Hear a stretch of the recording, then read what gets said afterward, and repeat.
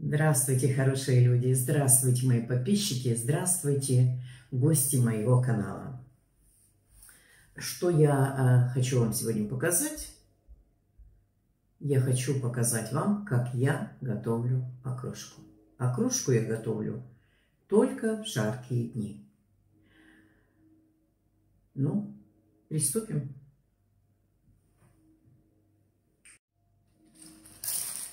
Первую очередь я нарезаю лук. Зеленый лук. Без чего нельзя обойтись, это без лука. В окрошку идет зеленый лук.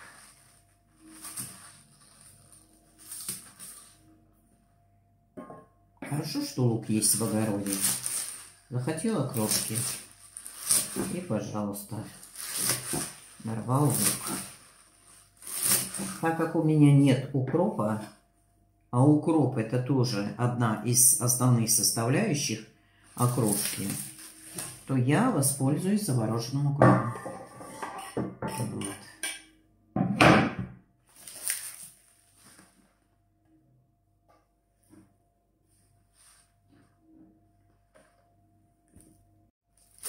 Берем замороженный укроп и добавляем его в лук.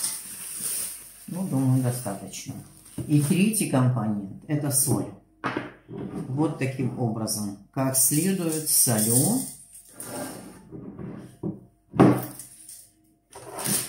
И перетираю свой лук с солью и укропом.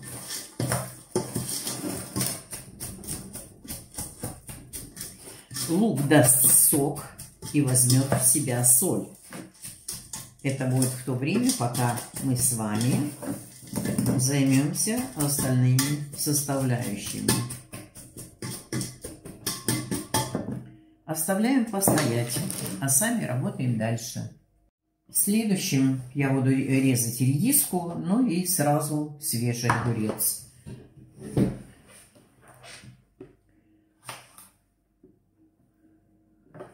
Можно натереть огурцы и редиску на терке. Но я люблю, когда аккуратно все порезано.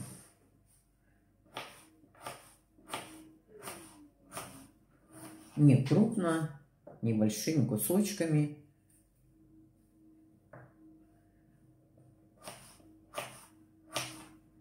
Без редиски окрошка не такая красивая. Можно добавить редьку. Но у меня сейчас редьки нет. А редиска есть. Ну, вот таким образом я нарезаю редиску.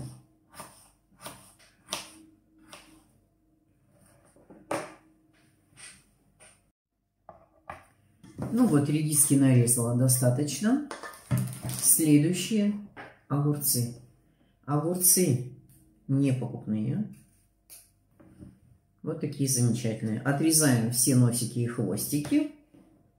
И нарезаем тоже такими же небольшими кусочками, как и редиску. Огурцы – это э, тот компонент, без которого не бывает окрошки. Окрошка – это огурцы, в первую очередь. Вот. Что еще хочу сказать, что в моем детстве, в нашем поселке, где я выросла, было две-три теплицы тогда. И первые огурчики, маленькие такие, мама покупала по 3 рубля за штуку, чтобы сделать окрошку. Не для того, чтобы а, кушать, делать салат или еще что-то, а для того, чтобы сделать окрошку, потому что без огурца окрошка и не пахнет окрошкой. Конечно, редиска желательно, но редиску можно заменить редькой, вот, а огурец вы ничем не замените, только огурцом. Ну, вот таким образом тоже не крупно я измельчаю огурцы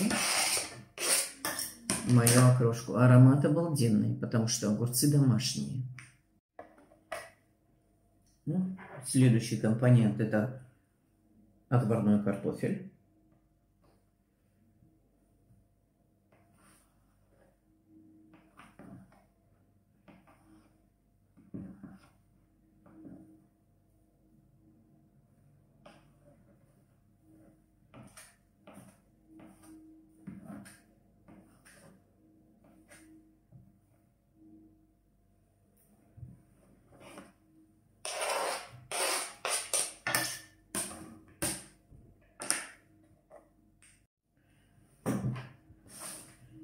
Следующий компонент это отварная или вареная колбаса из э, мяса птицы.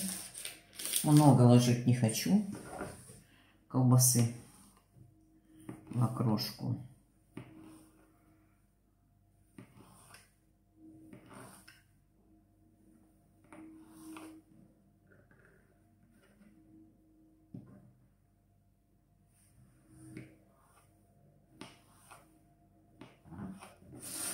Тоже не очень крупно. Колбасу или мясо ложу не всегда.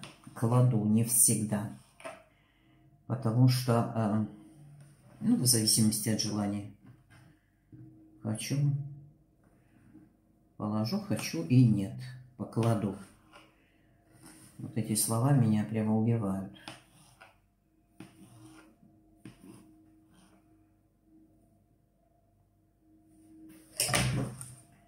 Ну, вот так же мелко. Ну и в последнюю очередь я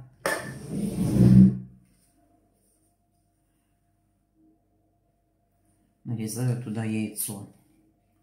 Куриное вареное яйцо.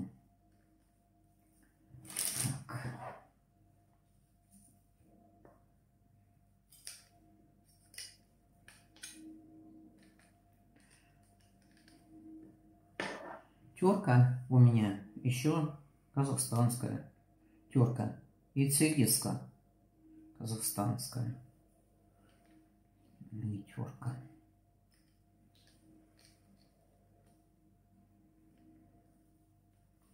Есть у меня где-то и немецкая, но к этой я привыкла, она родная.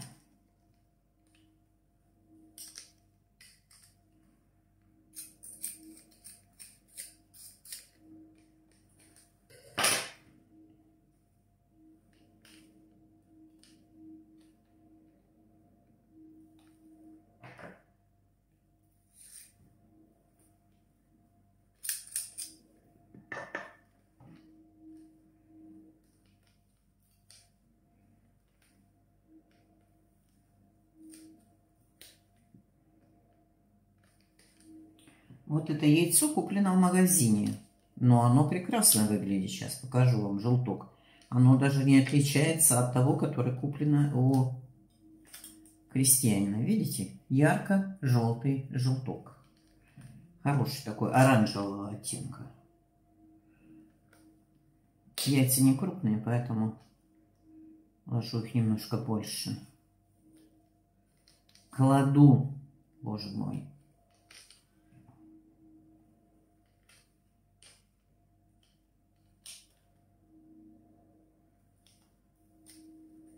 Ну вот.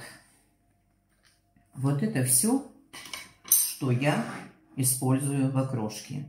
Первое, что у меня пошло, это зелень и лук.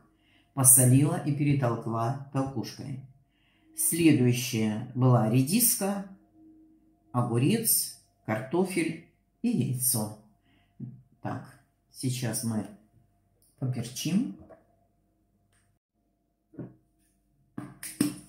Перчим.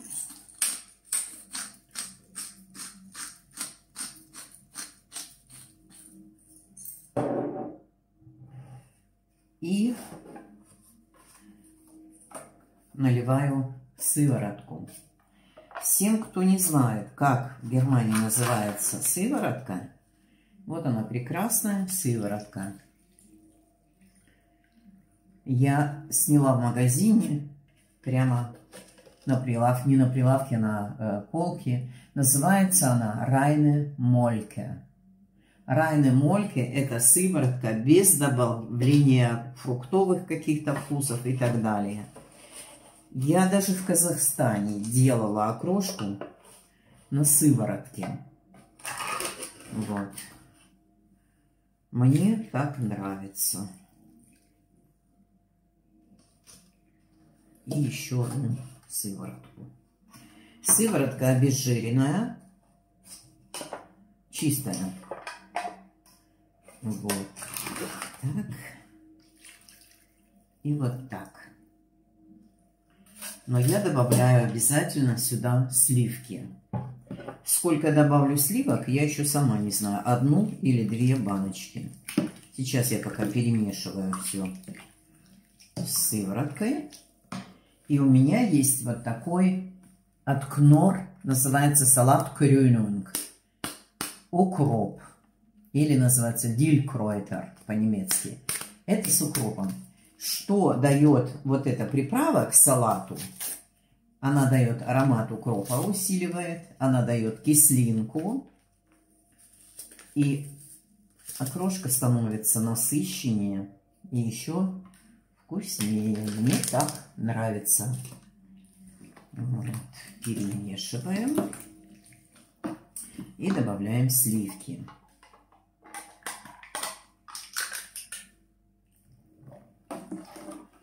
Почему я не беру сметану густую? Потом булькаться с ней не хочется. Перемешивать. Ну вот, попробуем сразу на соль.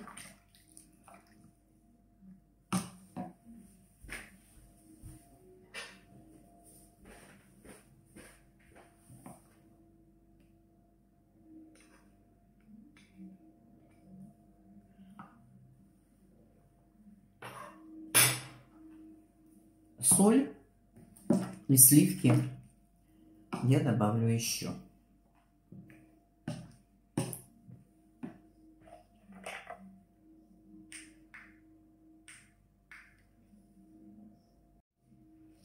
Добавляем соль. И положу один пакетик укропной приправы. Мне не хватает кислоты. Перемешиваем.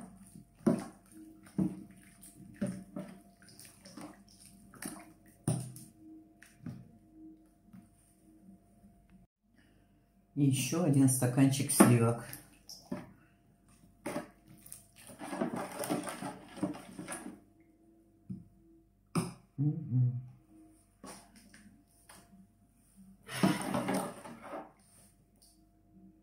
Пробуем на соль.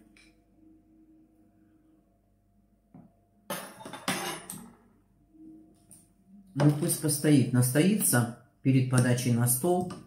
Я ее попробую еще раз. Вот такая замечательная окрошка у меня сегодня к столу.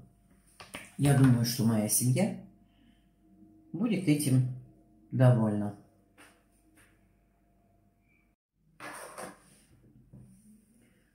Снимаем пробу.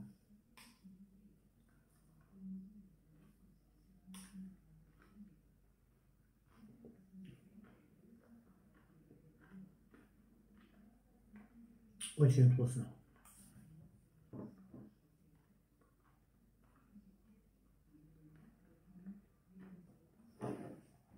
Обалдеть.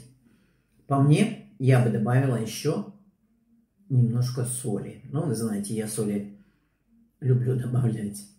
Но я думаю, что каждый добавит свою тарелку. Столько, сколько ему нравится. Ну вот, сегодня мы приготовили обед для жаркого дня. Всем приятного аппетита. Ставьте лайки, подписывайтесь на мой канал и пишите ваши замечательные комментарии. Девочки, мне очень грустно, но канал не двигается или двигается такими семимильными шагами, что уходят подписчики от меня. Не знаю, чем я еще могу вам вас порадовать, чем могу удивить. Но я пытаюсь и стараюсь, и буду это делать. Так что оставайтесь со мной. Я вас всех очень люблю. Счастья, здоровья и мирного неба над головой. Всем пока-пока и до новых волнующих встреч. А для тех, кто не знает, где в Германии продается сыворотка, я вам поставлю небольшой кадрик из магазина. Пока!